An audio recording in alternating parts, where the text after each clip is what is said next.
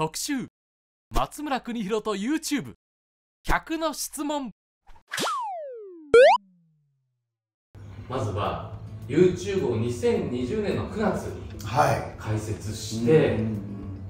今13万2000人という。はい。ありがたいですね。これについてどう振り返りますか？この登録者がね。うん。うん。まああのこんなに長くたくさんの方々に入っていただいたのはまあありがたいですよね。テレビで限られたことよりもっと深く喋れるっていう部分はこうやり始めた時にやっぱ YouTube っていいなと思いましたんでね。そのテレビではできないことができるっていうのは具体的に言うとどういうことですか、まあ長く喋れますよね。テレビだったらもう23回振られて終わりっていうか大勢タレント集めてる割にあまりこう消化されないで終わる場合が多いんでしょうけどあの1人でずっと長く喋りますんでねなんか好きなことを話してくださいっていうあとはまあ編集でカットもあるでしょうけど割とそういうところがあの自由だから僕に合ってたんじゃないかとは思いますよね。YouTube やってみたら楽しかったとおっしゃったんですけど、うんご自身が YouTube する前は YouTube 見る習慣っていうのはあったんですか？これもねなんかテレビの古いのを勝手に流してる ダメです。のーやつはよく見てたんですよ。あのーあー僕こんなこと言ってたんだっていうのが時々あったりとかテレビアップしてるやつとかもう実際正式なやつのテレビもあれば、うん、なんかいろんなのが見れて情報がいっぱい入れていい時代だなと思ってよく見てましたねまあ、松村さんの時代の情報というとそれこそラジオの世界でその芸のイメージを肥やして、はい。モノマネでやったりとか、はい。今もその世界でご自身が表現をされてますけどラジオと YouTube ってちょっと近しいとこありますか？そうですね。ラジオはあの好きなだけ喋れるし好きな空気で話せるんでね。あのテレビはちょっとこう違う話になった時もなかなか入れなかったりとかあるんでしょうけどラジオはなんかこうどういう方向に行ってもまた元に戻れる時間っていうのはテレビよりもラジオと YouTube っていうのはたくさんの時間余裕あって話せるんでフルで与えられた時間ができるのでいいなと思う。テレビはちょっとこう、まあ、そのタレントのポジション的なものもあるけどそれが1回ちょっとこう良ければ2回目が振りが来るかもわかんないけど、この団体のチームプレーとちょっとこう、うん。YouTube はなんかもっと自分中心でも話せるし、ゲストとあの会話しながらいい化学反応が起こせたり、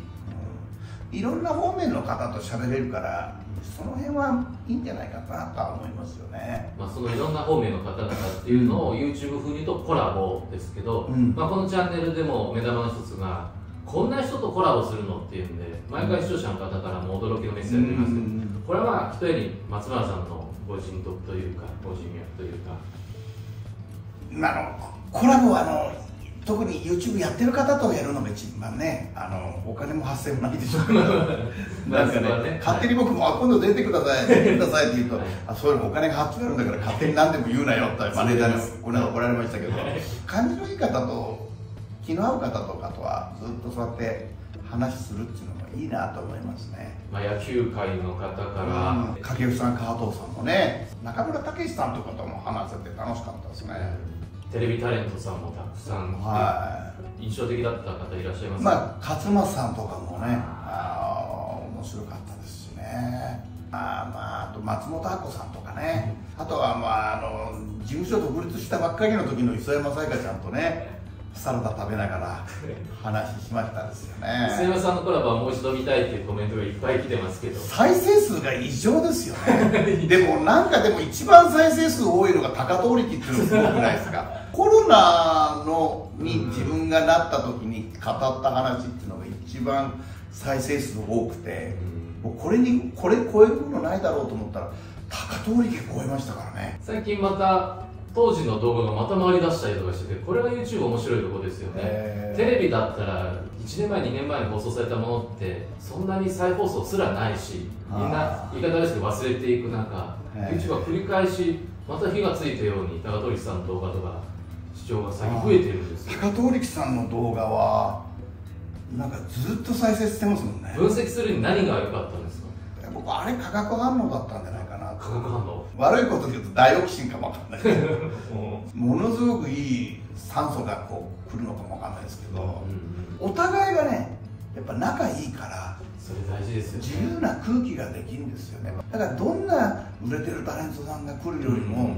やっぱ高遠力さんっていうのは一番ベストだったと思いますよね。向こうも求めてたものとこっちの求めてたものがちょっと爆発したようなね、高遠力さんが「ポヒポヒ おパカポーリキです」張り手をプラバってやってば滑舌の悪い高遠力さんって結局あれが今の「どうする家康」の一世尾形さんの、えー、鳥居忠義の役の時に「ヒャラヒャラヒャラヒャラヒャラヒャラヒャラ」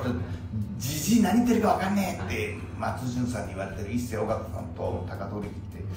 同じような空気ですよまあ、その高遠力さんのような、まあ、いわゆるメジャーな方々が、はい、YouTube っていうプラットフォームでやるってなるともう一つメジャーなのが YouTuber っていう人たちなんですよね、はい、で正直最初の方松村さんに YouTuber の方とコラボしませんかって言った時にあまりいい表情されなかった記憶が私の中にあってで,、でもこの間初めて、ミスター武士道さん。もともとね、芸人さんだったっていうのはあるんですけど、うん、自らも YouTuber と名乗る人とお話してみてどうでした、うんもうものすごい面白いしね無駄な喋りがないから僕年が上なのかなと思ってたぐらいですね。うんなんかあの方はよく勉強してるし頭いいし尊敬してますからね、うん、まあおっしゃってるように YouTube でしかできないこともある一方で、まあ、松村さんもずっとテレビタレントとして芸歴を歩まれてるんですけど、改めてテレビにしかできないことってどんなことですか？YouTube じゃできないことはなんかまあテレビっていうのはあのお金も予算かけて豪華なスタジオで豪華な出演者呼んだりカメラ持ってすごく財力でいろいろなとこ行ったりそこがテレビのちょっとこう入り込めるとこかなとは思いますよね。YouTube は限られた中なんでしょうけど好きなことがやれるっていう部分では YouTube の方がちょっと強いし面白いなと思いますよね。まあでもコメントでもたくさん来てて松尾さんほとんど見てますもんね。うんでまあ好きすぎて気持ちがこうオーバーラップするような人もい。ますけど皆さんもっともっと松村さんをテレビで見たい見たいっておっしゃるんですね。ああいうコメントに対しては率直にどう思われる、まあ、だけどその YouTube にしてもそうだしラジオにしてもそうですし、うん、仕事っていうのは何でもねみんな同じように思ってますけどね、まあ、テレビ出てるとあ出てるねなんてこう言われるとありがたいなとは思うしね。うんまあまああのずっとそうやってずっとね続けるっていうのは難しいでしょうけどテレビはテレビのいいとこと YouTube は YouTube ラジオはラジオイベントイベントで。タレント松村邦弘さんは、どうしてタレント業をやるんですか？若い時やっぱり有名になりたいとか売れたいとかレギュラー何本もあったりとかっていうのがなんか一つの区切りのように思うんですけど最終的に何がいいかっていうと好きなことを勉強するっていうことがなんかいいんじゃないかなと思いますよね。あんまりにもね好きでもないことで忙しくなってると体調悪くなるんじゃないかとは思いますね、まあ、それこそ大河の取って出しだったら毎週日曜日欠かさず8時に見て何回も見られるんですよね。そうですね。であれねものすごい忙しい時だったらできないと思うんですよ。できないですよね。なんかイライラしたりして、うん、あこれどうしようかなっつったり今日できませんでしたって。老いてこそ花のようなね。老いてこそ幸せのような気もしますけどね。あの大河の取って出しの準備をする間っていうのはまず楽しい時間、うんまあ、楽しいですよね、まあ、ちょっとあの苦しい時もあるけど楽しくないとできないですよね、うん、そもそもなんですけど、松永さんが YouTube を始めたのはどうしてだ